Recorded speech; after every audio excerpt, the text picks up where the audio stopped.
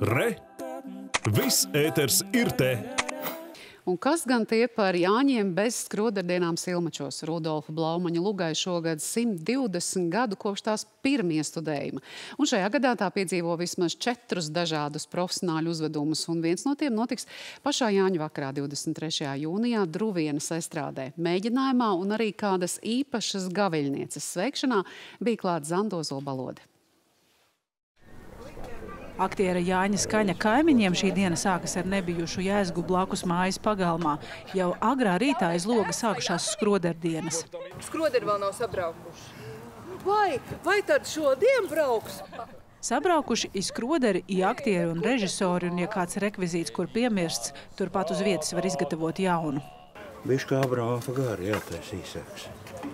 Viņš ka tikai vadu nepārzēdi. Es esmu 19 sezonas spēlējis Joska un, un 8 sezonas spēlējis Ābram. Tas ir jau puse no mana mūža. Brīvdabas izrādēja Druvienā pašā Jāņu vakarā, kam par godu notiek šis mēģinājums sapulcināti nevien Nacionālā teātra aktieri, bet arī citi, kam citkārt skrodardienas ietu seceni. Dūdara lomā. Es nezinu, nu, es esmu beidzot arī Latviju saimētītis iekšā. Šur, lai nolieku, dod šur, lai nu šur. Gandrīz visus tekstus varu runāt, un, un vēl tagad es varētu ieviņu spēlēt, ja vajadzētu. Nu, man nu, vismīļākā man ir ieviņa. Tāpēc, ka es ārkārtīgi to lomu gribēju.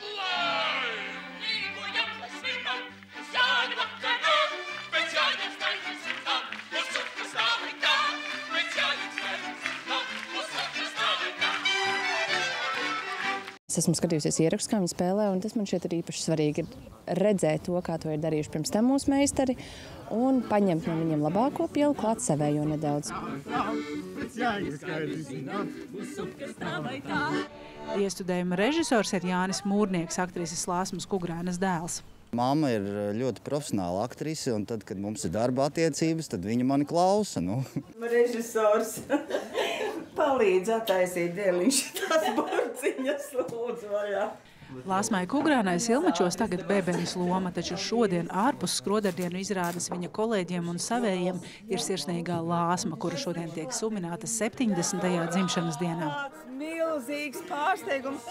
Lai dzīvo, lai dzīvo sveiks! Vai cik negaidīti? Vai ne?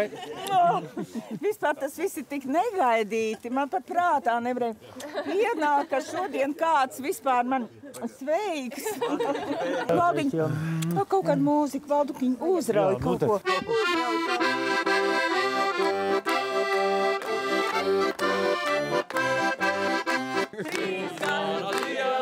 Trīs naktis esi, silmačos